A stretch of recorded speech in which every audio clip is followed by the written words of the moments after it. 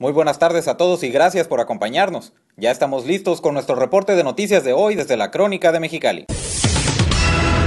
El cuerpo sin vida de una mujer fue localizado en el Canal Pacífico a la altura del Puente Azul, en la zona de Cerro Prieto. La policía municipal informó que la mujer presentaba huellas de violencia en su rostro y cuello, desconociéndose la causa real del deceso. Se detalló que el reporte sobre un cuerpo flotante en dicho canal de norte a sur se dio a las 9 de la mañana del domingo. Hasta el cierre de la edición, la mujer no había sido identificada, ya que no portaba identificación y la única vestimenta que utilizaba era una blusa color rojo y un sostén color café, sin alguna otra prenda de vestir en la parte inferior del cuerpo. De momento no se ha establecido una línea de investigación, ya que el cuerpo de la mujer estaba flotando y era arrastrado por la corriente del canal cuando fue encontrada. El cuerpo fue trasladado al servicio médico forense para que se determinen las causas reales de su muerte, mientras que las autoridades ya iniciaron las indagatorias correspondientes.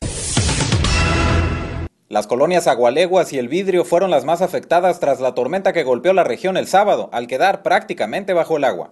Paulo César Hernández, secretario del ayuntamiento, comentó que se trabajará a marchas forzadas para agilizar las labores de limpieza en la zona. Los fuertes vientos y la lluvia del sábado ocasionaron que sobre la avenida Colón desde la calle D hasta la H se cayeran ocho postes de alta tensión y colonias como Calafia, Industrial, Nueva y Nacosari quedaran parte de la noche sin energía eléctrica. Por su parte, el secretario técnico de Protección Civil informó que el 40% de probabilidad de lluvias o tormentas eléctricas se encuentra latente desde la noche del domingo hasta el miércoles, e indicó que la lluvia del fin de semana fue la de mayor intensidad de las seis registradas en tres semanas, alcanzando en Mexicali los 25.8 milímetros de agua y 15 en San Felipe. En la colonia El Vidrio se desbordó el canal, llegando el agua a alcanzar hasta un metro de altura, arrastrando peces pequeños a las viviendas y las calles de la colonia. Vecinos del lugar comentaron que la mayoría de sus pertenencias se perdieron a causa de la lluvia. Mientras tanto, se formó un agujero en el bulevar que Isla Borneo de aproximadamente 4 metros de profundidad, por lo que la vialidad Lázaro Cárdenas de norte a sur se cerró para evitar accidentes.